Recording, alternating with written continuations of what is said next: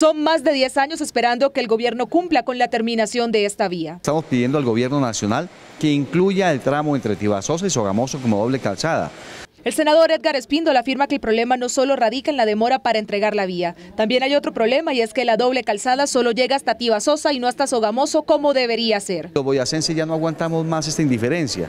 Los boyacenses estamos cansados de la indiferencia del consorcio que se comprometió a construir la doble calzada pero que todavía no la ha culminado lastimosamente. Sumado a esto, algo que también preocupa a los boyacenses es que se habla de la construcción de un nuevo peaje.